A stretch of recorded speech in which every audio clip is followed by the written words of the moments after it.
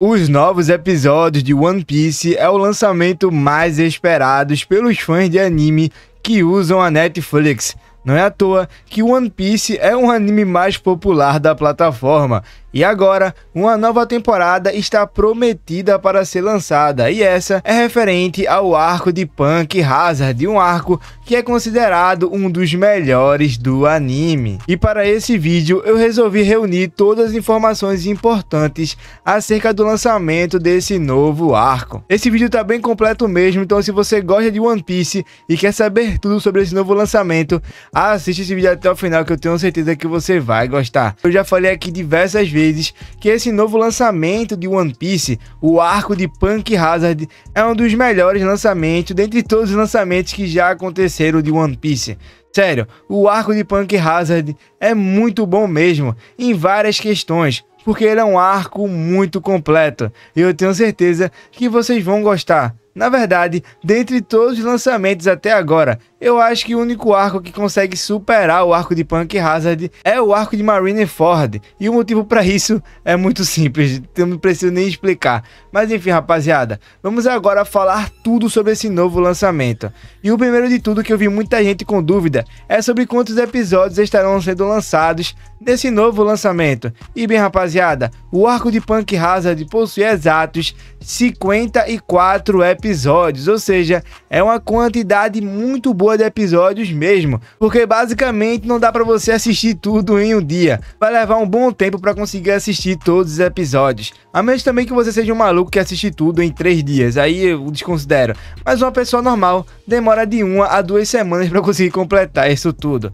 E os episódios que estarão sendo lançados são referentes ao episódio 575 até o 628. E uma curiosidade muito interessante sobre esse novo lançamento é que o episódio 590 é um crossover entre One Piece, o anime Toriko e o anime de Dragon Ball. E esse crossover vai estar dublado. Esse aqui é com toda certeza uma das melhores novidades desse novo arco. Mano, vai ter simplesmente um crossover entre Dragon Ball e One Piece. Esse episódio vai ser muito louco. Inclusive, eu vou até fazer um vídeo aqui no canal comentando um pouco mais sobre esse episódio porque ele realmente merece toda essa atenção. Mas agora voltando para o arco de Punk Hazard. Rapaziada, como já falei para vocês, esse arco é sensacional. E uma das coisas que eu mais gosto desse arco é a sua animação. Porque para quem não sabe, depois do arco de Marineford, temos um time skip de dois anos. E para quem assistiu o arco da Ilha dos Homens Peixe, percebeu muito bem isso. A cada arco que se passa, temos uma melhora na animação muito absurda. E no arco de Punk Hazard, vemos realmente uma evolução na animação que é realmente notória, que deixa tudo ainda melhor na experiência ao assistir One Piece. Até porque no início, a animação de One Piece era bem precária, mas agora a animação vai ficando cada vez melhor. E agora falando mais especificamente sobre o arco, eu vou dar um breve resumo sobre a história. E bem rapaziada, o arco de Punk Hazard é situado em uma ilha bem peculiar, que é dividida em duas metades distintas. Uma metade está coberta por chamas e lava, e a outra está congelada. Isso foi o resultado de uma luta entre dois almirantes, sendo eles o Akaino e o Aokiji. Os caras simplesmente mudaram a geografia de uma ilha enquanto batalhavam entre si. Isso aqui é muito absurdo. E após o Chapéu de Palha chegar à ilha de Punk Hazard,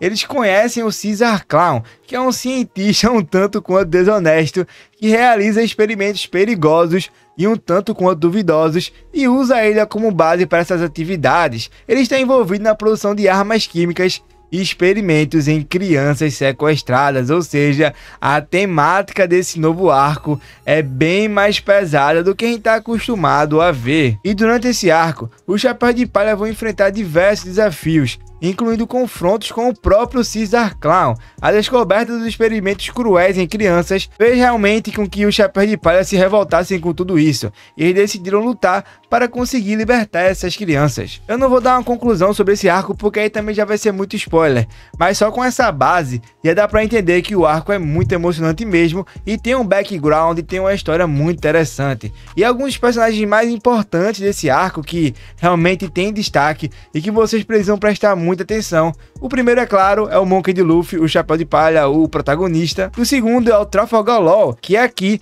vai ter um destaque muito absurdo mesmo. A última vez que vimos o Law tendo tanto destaque assim foi no final do arco de Marineford e também durante o arco de Sabaody. Mas agora vamos ver ele realmente sendo um protagonista e os outros personagens importantes para prestar atenção. O primeiro, é claro, é o Caesar Clown, que é o principal antagonista desse arco.